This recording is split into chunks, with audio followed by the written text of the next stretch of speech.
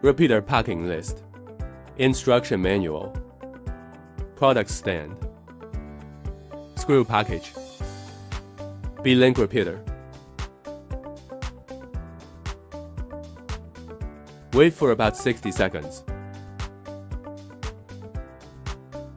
Connect your phone wirelessly to the repeater Wi-Fi.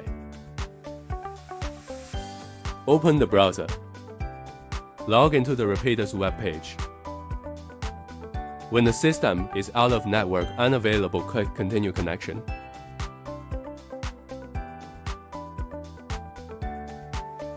The login password is admin. The power is displayed in the upper left corner.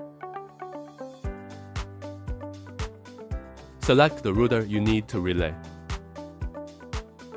Enter the router password. Set up the name of repeater and the Wi-Fi password.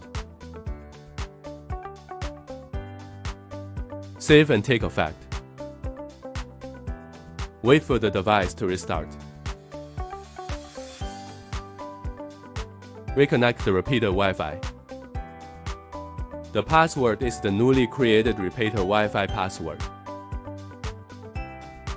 After the connection is successful, you can use the internet normally.